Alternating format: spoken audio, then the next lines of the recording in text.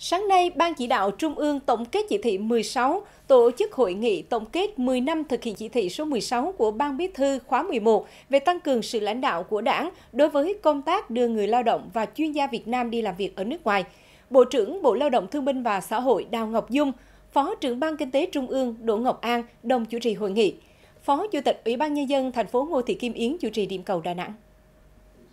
Hội nghị đã nghe báo cáo về những kết quả lớn đã đạt được sau 10 năm thực hiện chỉ thị số 16 của Ban Bí thư về tăng cường sự lãnh đạo của Đảng đối với công tác đưa người lao động và chuyên gia Việt Nam đi làm việc ở nước ngoài, cũng như thẳng thắn chỉ ra những hạn chế cần khắc phục trong quá trình triển khai chỉ thị.